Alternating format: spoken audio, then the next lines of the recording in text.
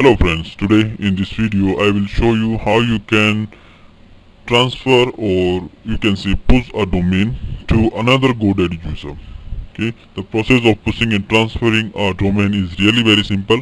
You just need to suppose you are in the hold of the domain that you want to transfer to another user and just log into your account. This is the way you see once you log into your GoDaddy account and we are going to transfer a domain so we'll click launch here. Okay once you are in your domain list uh, click the domain name that you want to transfer. Suppose this is the domain I want to transfer to other GoDaddy user. And uh, under the domains uh, detail you need to click on the tab that says account change. Click it. Now uh, the process is really very simple. You just need to enter the recipient address email address confirm it. And if you have the customer account number or the username of the uh, user GoDaddy user you want to transfer domain to you can enter that here. And if you want to enter new detail for the new user you can click this radio button either you can use the detail specified from the customer account.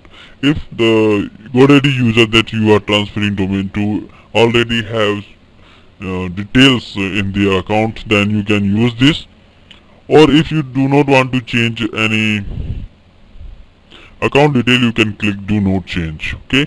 And if you want to keep the name server settings I would recommend you should check this box keep the current name server for this domain uh, because uh, sometimes you might have sell a website and if you don't keep the name servers of this domain the uh, website might uh, face some problem and get down. And uh, definitely will drop some ranking in the google search okay? So you can it's up to you if you want to keep the name server settings and uh, you can let the new user change himself or as you wish. Okay. Once it is done you just click save and uh, once you click next you will be taken once you click next button you will taken to confirm and submit. Uh, you will just verify the details you entered previously and uh, click the submit button. And the domain transfer initialization will start and uh, once it's completed you will get uh, email confirmation from GoDaddy. You as well as the person to whom you transfer the domain will also get an uh, email ID oh, sorry email.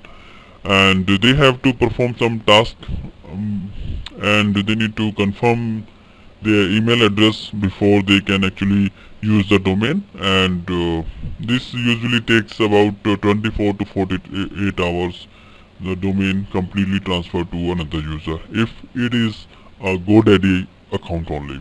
Okay I hope you like the video. Thank you